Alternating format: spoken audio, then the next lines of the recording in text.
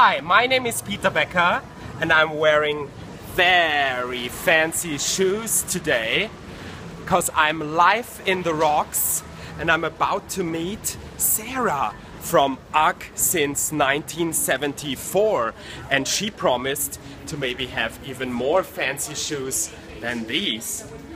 Hi Sarah! Hey. Hi, good to see you. Good to see you. What do you? Oh my God, I'm blind. out. I know, These are right? Shoe disco balls. this one here is the world's most expensive pair of uppers. Oh my God, I'm the most expensive. And how much are they? These ones here are fifteen thousand dollars. Wow, that's an expensive I know, I know, it is, it? I love them. yep, these Look, ones here are laced with Swarovski crystals, and it took ten months. Swarovski is Austrian. Oh, is it? Swarovski, yep. Where I'm from. And they took ten months to make, handmade.